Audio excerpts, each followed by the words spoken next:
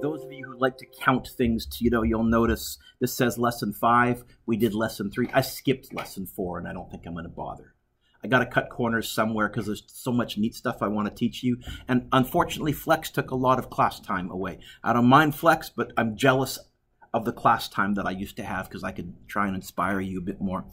Today we're going to talk about calculating percentage error. Often when completing a lab, we would like to know the accuracy or the validity of our results. How close are we?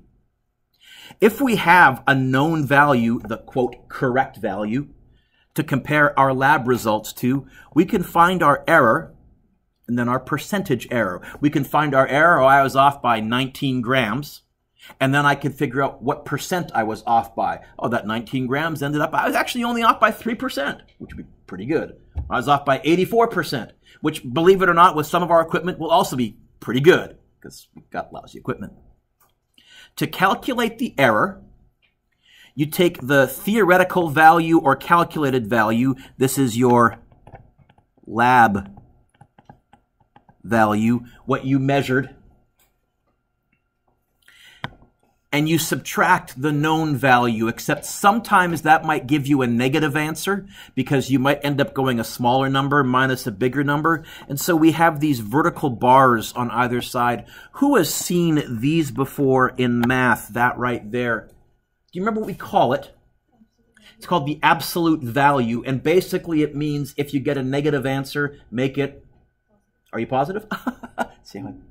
So we're going to do some math in our heads. What's the absolute value of 5? Everybody? Everybody? What's the absolute value of 8? Everybody? 8. What's the absolute value of negative 5? 5. What's the absolute value of negative 8? 8. Uh, and that explains some of you have a calculator that has an ABS button on it, or it's somewhere in the sub menu somewhere. You all do have an actual absolute value function. So take the positive answer. Or just always go bigger minus smaller. Even though I wrote lab value minus known value, you could go known value minus lab value if it was bigger. Okay? So the known or accepted value is often the correct value, the one that you were supposed to be trying to get. So the absolute value makes your answer positive, even if it's negative. In other words, just go bigger minus smaller.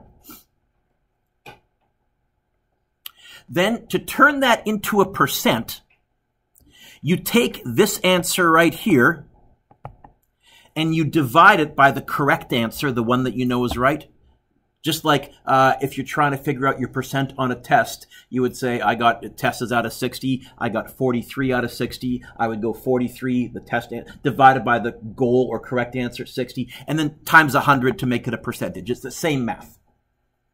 It's the same math. For example, a police officer uses a radar gun to clock a passing Ferrari at 211 kilometers per hour. But the GPS on the Ferrari was really speeding at 199 kilometers per hour the radar gun is off. Calculate the error in the officer's measurement. So what's the theoretical measured value? 211.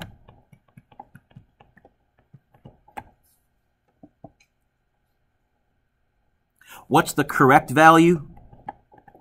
199. What's the error in measurement? Well, if I was writing this as an equation, I would go the absolute value of 211 minus 199.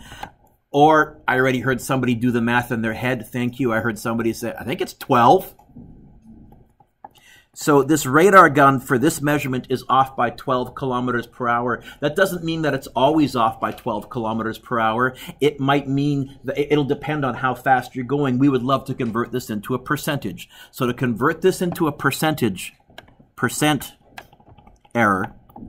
That's going to be that 12 divided by the value that I know is correct. Which value do I know is correct, Josh? And then times 100 to make it a percent.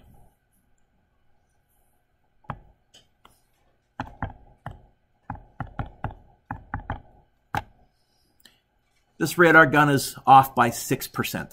By the way, technically, I should probably go to two sig figs because the 12 is two sig figs, the 199 is three sig figs. Although we did some subtracting up here. Oh, but wait a minute, these are all to the same number of decimal places, so I wouldn't really have to worry about my adding and subtracting rule. So technically, I would go 6.0. I'll do that here just to be a pedantic nerd. I'll go to two sig figs, but I wouldn't be that fussy in real life. 6.0%.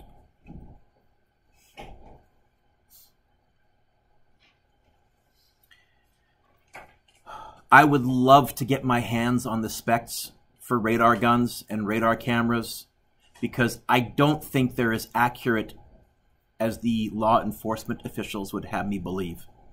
But haven't been able to find that yet. Uh, two people, Connor and Sheila, measure their mass in, or weight in the morning by using typical bathroom scales the ones that you stand on. Bathroom scales are notoriously unreliable. They're very, very bad. The scale reports that Connor weighs 137 pounds, but we actually know that he weighs 256 pounds. Sheila's scale reports her weight as 117 pounds, but actually she weighs 129 pounds. Whose measurement incurred the larger error? I think we're going to find the error in Connor's I think we're going to find the error in Sheila's and compare them. I told you that the other day I'm lazy but organized. I think we're going to be doing three things finding Connor's error, finding Sheila's error, and then comparing them. So I'm going to go yoink, yoink. What do you think the capital letter C stands for, Tito? What do you think capital letter S stands for? Come up with a way to abbreviate but be organized. And so you're often going to see I'm either going to use the first letter or I'll use the letter as a subscript. I'll put it underneath the variable. X with a C would be Connor's mystery value. X with an S would be Sheila's mystery value. We're going to get organized, but we're going to be lazy. Well, the two measurements I have for Connor are those two. Now, if I went theoretical value minus actual value, I would do that, but I would get a negative answer. So I'm going to put the absolute value signs, but you on your calculator, Jack, can go 256 minus 37. Just flip it and you'll get the positive answer. What is the absolute value of 237 minus 256, or what is 256 minus 230? I can do that in my head. 19, I think. Double check me. Yeah? So Connor's scale is off by 19 kilograms. What about Sheila? Sorry? Pounds? Thank you. What's the abbreviation for pounds? Why LBS? That's kind of stupid. Uh, by the way, that's falling out of favor now that we've entered the digital age because all of your cell phones have a pound key. What's the pound key? And so you're starting to see them start to abbreviate that with pounds. The LBS, it comes from something in Britain, and I used to know the story, and it was interesting and kind of weird, but it's the imperial system, which you're going to find out is just a stupid system, which is why we went metric. Sheila. Well, the measured value is 117. The actual value is 129. I'll take the absolute value of that. Double check me, but I think it's 12. Yes?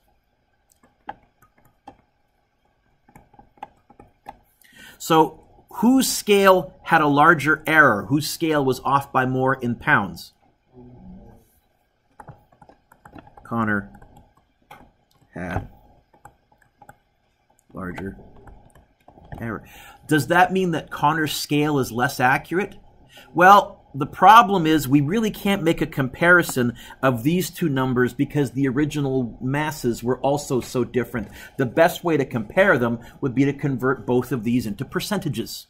And so, who has a bigger percentage error? We'll do the same thing. We'll divide our page into three.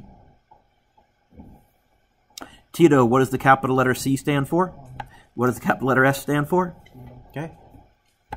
Now I'm going to do a percentage error. So the percentage error is going to be 19 divided by the correct value. Is the correct value 236 or 250 sorry 237 or 256? and then times 100 to make it a percentage. 19 divided by 256 times 100. I heard somebody say 7%. Uh, the 19 is 2 sig figs. I'll go to 2 sig figs. I'll go 7.4%.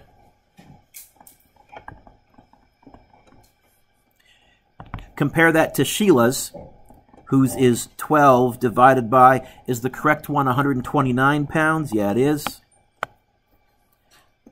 Times 100.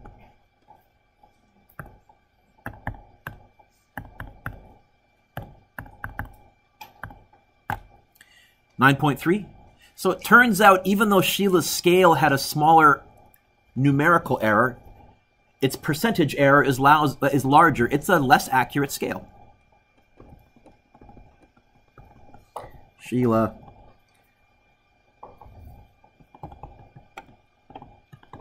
Scale has a greater percentage error. So how do you find error? bigger minus smaller, and then to turn it into a percent, divide that answer by the value that you know is correct, and then times 100 to turn it into a percentage. Mr. Dueck estimates that it will cost him $7,650 to rebuild his porch. When he actually rebuilds his porch, it costs him $9,800. What was his error?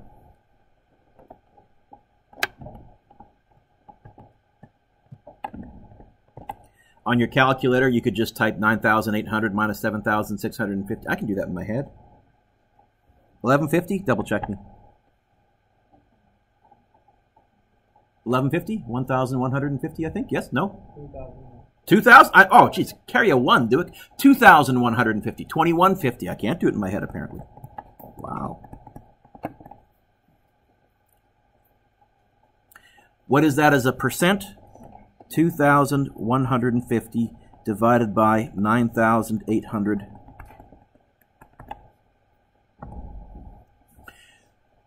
Governments are notoriously bad with percentage error at guessing how much it will cost to build something.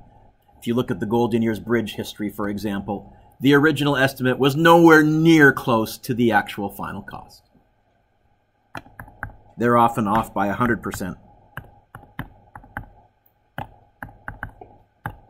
You get uh,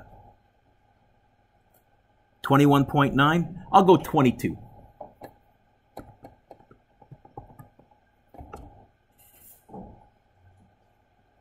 Is that okay? I'll get a couple of examples with you. That's the lesson, but we're actually going to apply this. So bear with me. I'm going to pause the video. I got